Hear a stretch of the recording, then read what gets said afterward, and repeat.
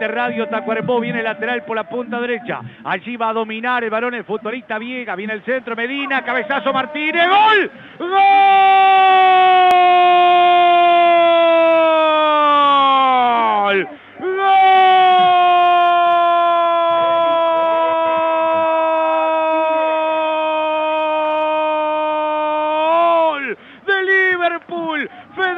Martínez, señoras y señores oyentes. Balón por la punta derecha. Lo ha marcado Marcelo. Lo marcó Martín Varela. Por la derecha en el ataque, donde ahí no marca prácticamente Valentín Rodríguez. El balón por la punta derecha. Vino un centro y cabeció un chiquitito, ¿eh? Federico Martínez cuando van transcurridos 14 minutos. Golpe de cabeza. No fue quizás buena la reacción también de Kevin Dobson. Le cabeció prácticamente por el medio del arco. Se viene cierto abajo, de pica el piso. Dobson eh, tuvo una reacción tardía, mi entender. Gana Liverpool 1 a 0. El gol lo hizo Federico Martínez. Liverpool en su cancha en Belvedere le gana Peñarol 1 a 0.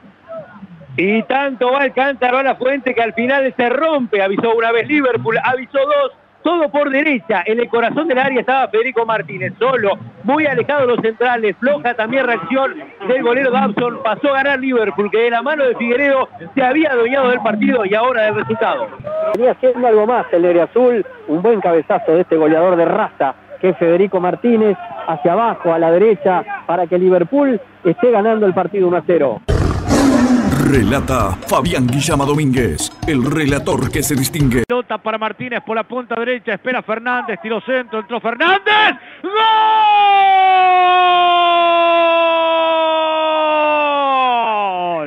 ¡Gol!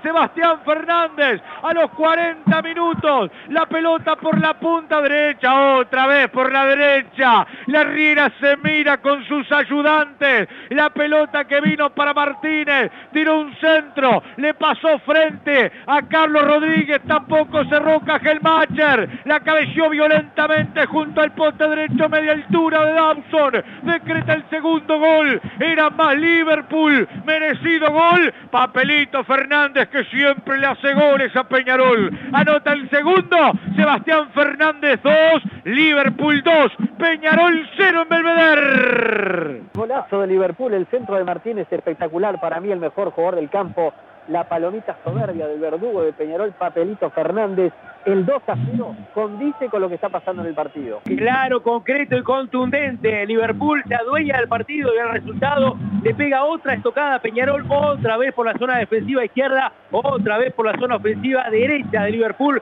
Rompe los ojos esa situación que no ha corregido Peñarol. Liverpool gana bien, absolutamente justificado. Relata Fabián Guillama Domínguez, el relator que se distingue. Pelota para el sector izquierdo de la cancha para que la lleve Viga. Avanza con el balón, la pide Fernández. Balón combinado. Atención, buscan un remate. ¡Gol! ¡Gol! Medina.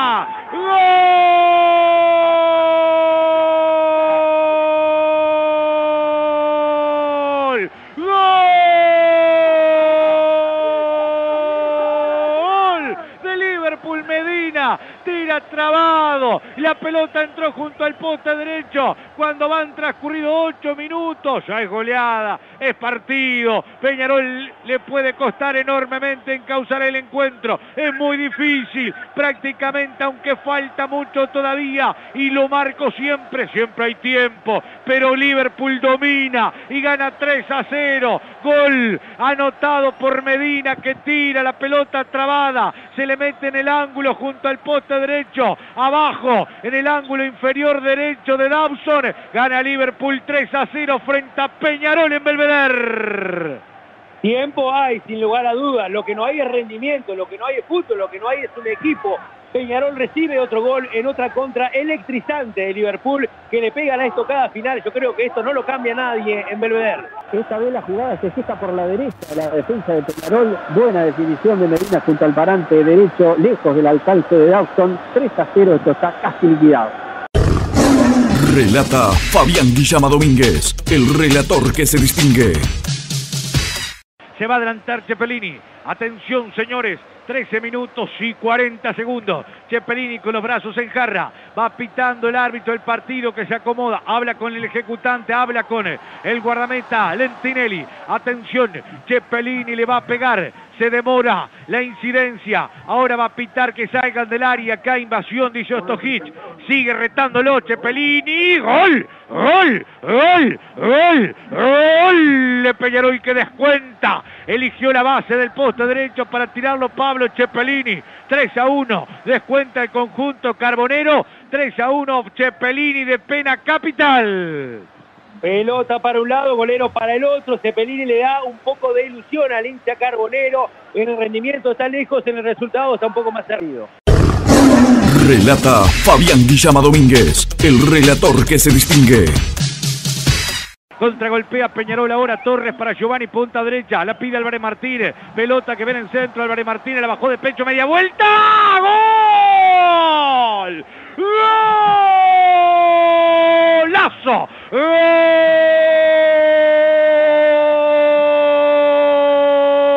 ¡Gol! ¡Golazo de Peñarol! Álvarez Martínez, el canario Álvarez Martínez cuando van 20 minutos de juego. Jugada de Giovanni González por la punta derecha. Se fue como un punta. La tiró en centro. La baja de pecho. La acomoda hacia arriba con un gesto técnico bárbaro. Siempre en el aire. Y luego saca una media vuelta bárbara. Lo dejó sin asunto el Entinelli que quedó parado como si fuera una estatua roja en su valla. 3 a 2 el partido. Habrá tiempo. Ay, ay, ay. 3 a 0 ganaba Liverpool. 3 a 1 descontó Cepelini. 3 a 2 descontó Álvarez Martínez. Habrá tiempo. Así es el fútbol. Álvarez Martínez y un golazo 3 a 2. Había tiempo, tiempo hay y ahora lo que mejora es el rendimiento. Tenemos partido en Belvedere con este golazo, esta joya. Para terminar con la sequía de Álvarez Martínez, Peñarol se pone a tiro. Golazo de Álvarez Martínez, una pirueta bárbara del centro delantero de Peñarol. Inatajable el disparo. Gran expectativa para los últimos minutos. Falta mucho todavía. Relata Fabián Guillama Domínguez, el relator que se distingue. Se adelanta Cepelini que pone los brazos en jarra. Cepelini busca el segundo personal y el tercero para Peñarol. Cepelini respira, toma aire, bocanada de oxígeno. Allí le salta el arquero, se adelantó Cepelini. ¡Gol!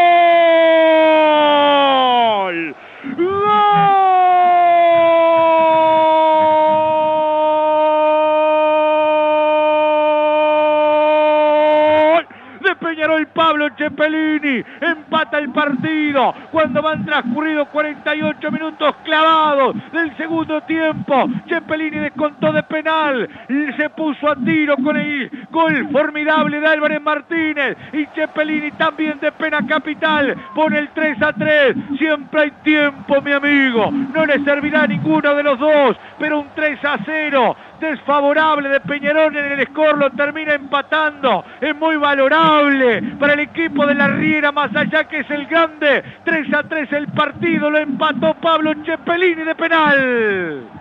La serenidad de Cepelini contrasta con lo que fue Peñarol, sobre todo en el primer tiempo. Empate que no beneficia a ninguno de los dos, pero que, insisto, por lo menos saca la rebeldía, algo que pide siempre el hincha de Peñarol en cada partido y que Peñarol en estos últimos tiempos lo ha tenido. No le sirve el resultado, no le sirve el campeonato, pero por lo menos no pierde en Belvedere y de alguna manera sale digno de este contexto. Tuvo de todo este partido, realmente partidazo, lo empata de atrás Peñarol y todavía queda el último minuto de juego. Relata Fabián Guillama Domínguez, el relator que se distingue.